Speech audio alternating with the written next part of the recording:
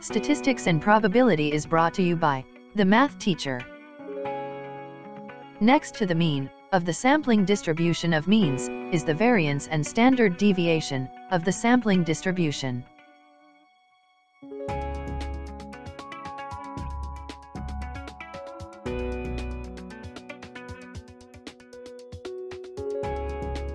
The variance sigma squared sub x of the sampling distribution of means can be computed by the following formula, where sigma squared sub x equals the variance of the sampling distribution of means. Bar x equals sample mean. Mu sub x equals the mean of the sampling distribution of means. n equals total number of observations. The standard deviation sigma sub x is the square root of the variance. Now let's have example 1. Consider the population consisting of the values 1, 2, 5, and 8. List all the possible samples of size 2 that can be drawn from the population with replacement. Then, compute the mean bar x for each sample. Likewise, find the mean mu sub x, variance sigma squared sub x, and the standard deviation, sigma sub x of the sampling distribution of means.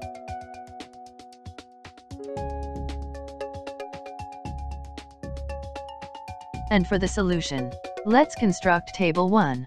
Here, we are going to solve for the population mean, population variance, and the population standard deviation, using the values 1, 2, 5 and 8. With the population size equal to 4, let's solve for the population mean, by taking the summation of x, divided by the population size.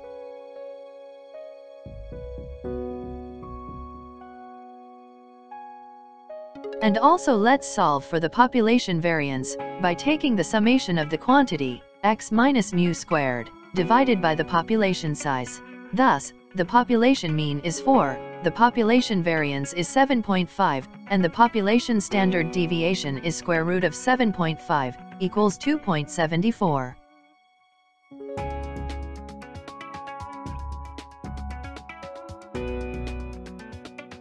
And now let's construct table 2, mean of the sampling distribution of means, using 1, 2, 5 and 8, with replacement, where the sample size is 2 and the number of observations is 16.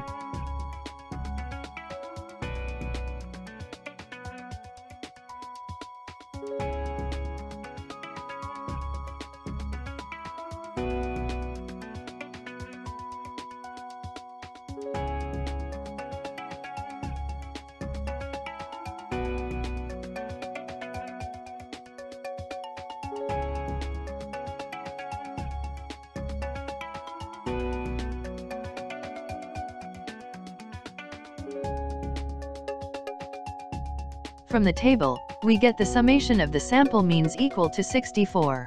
Dividing 64 by the number of observations 16, we get the mean of the sampling distribution of means, mu sub x equals 4.0.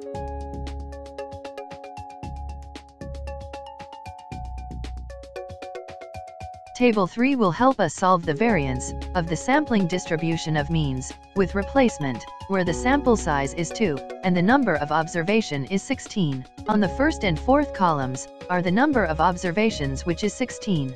On the second and fifth columns are the sample means. On the third and sixth columns are the squares of the difference between the sample mean and the mean of the sampling distribution of means. And on the last column contains the summation of the squares of the difference between the sample mean and the mean of the sampling distribution of means, this is equal to 60.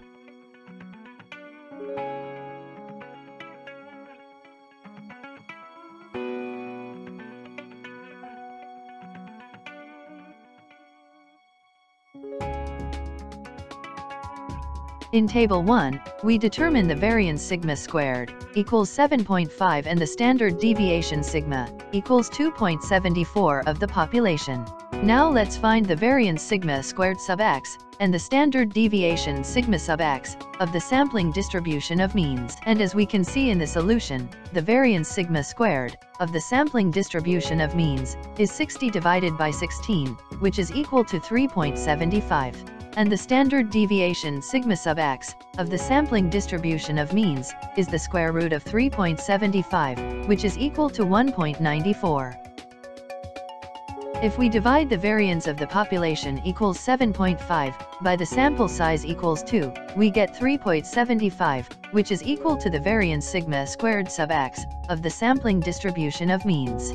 Note that the variance of the sampling distribution of means, sigma squared sub x, is equal to the population variance sigma squared, divided by the sample size n sub s.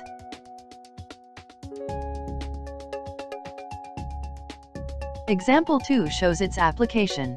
If the sample size is n equals 2, and the population variance, sigma squared, equals 8.75, what is the variance, sigma squared sub x, of the sampling distribution of means? Take a look at the preceding solution.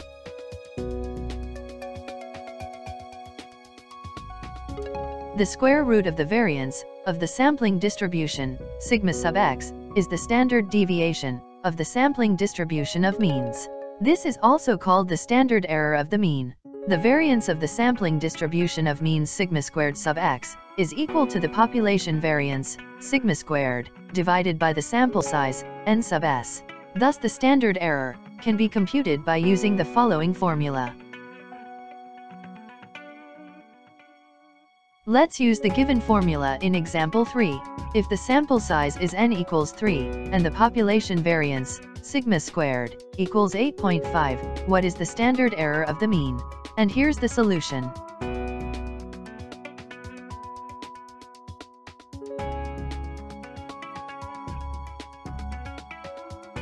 Let's summarize.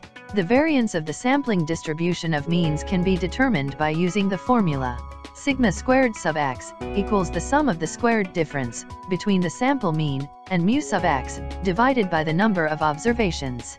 The variance of the sampling distribution of means is also equal to the variance of the population divided by the sample size. The standard deviation of the sampling distribution is also called the standard error of the mean.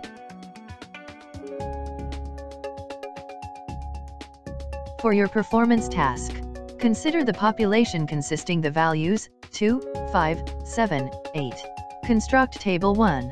Find the population mean, population variance and population standard deviation. Construct table 2. List all the possible samples, of size 2, which can be drawn with replacement, from the population, find each sample mean, and solve for the mean, of the sampling distribution of means. Construct table 3. Find the variance, and the standard deviation of the sampling distribution of means.